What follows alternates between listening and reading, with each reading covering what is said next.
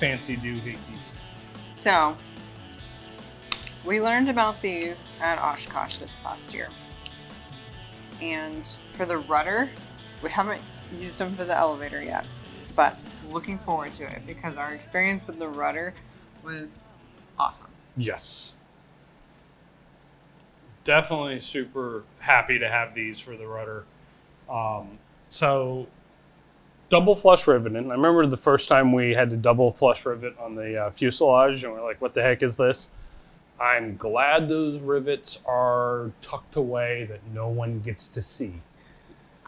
So, um, yeah, traditional double flush riveting is a challenge, and double flush riveting a trailing edge at two different angles are even more challenging. I can only imagine because I've never tried, no, nor do I want to try.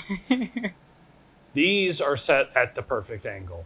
Again, there's two different angles with trailing edges. Uh, all trailing edges except for the RV14 elevator, and the RV14 elevator uh, has that its one. own special trailing edge squeezer. These springs are set to align the edges just perfect. And uh, as we were told from uh, Mike at Cleaveland Tools, go through with your traditional squeezer, uh, pneumatic squeezer, and set it, Like If- half set. yeah, like half set. So like, so they're not going to move. yeah, you look at it and it's um, it's you know definitely under set, Then you come back with these and you use them pretty much like regular squeeze sets. You you put them in.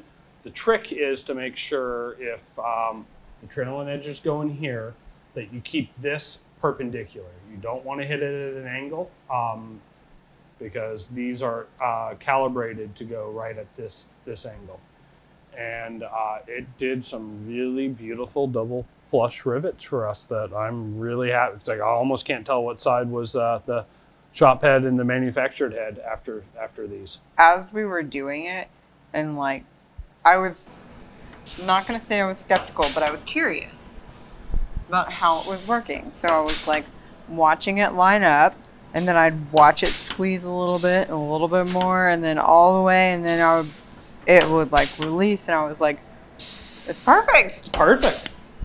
It was it was really great watching it all come together so nicely. It was like almost like cheating. Now I know uh, some of our viewers on this channel and friends have um, they have some advice on how you can set the depth because how hit, hitting that rivet forward and backwards just right is important. Um, and you know he showed a video of putting a piece of angle aluminum across and mounting it. We kind of tried that and it, it wasn't working for us. And I found eyeballing it worked really really well for me. If I could I felt comfortable lifting up the uh, rudder and really seeing it and uh, setting it well. So that worked for us. Um, however, you hit the right spot, whatever's right for you, do it Over and over and over and over, over again. and over because there's a lot of them, lot more in that elevator coming up soon. We'll use this one for that. Yeah, Uh, but uh, must have.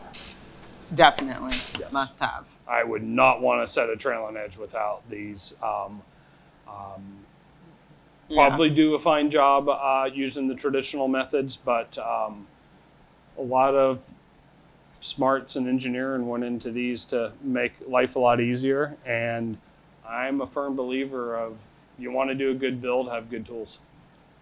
The better tools you have, and it makes it faster, quicker, easier. Drill out less rivets. Uh, if you use the right tools from the beginning, uh, we started off trying to cheap out. Cheaping out is not the answer um, and love our um, trailing edge uh, squeezers.